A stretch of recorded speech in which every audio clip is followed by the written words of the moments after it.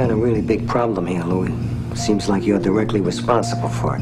What we need to do is eliminate the scumbag who whacked Frank. His killer needs to be neutralized. In the words of the ancients, matters of great concern should be treated lightly. Matters of small concern should be treated seriously. Louis, now is the time to tell us everything you know about this mysterious weirdo. Ghost dog, power equality. I always see everything, your brother.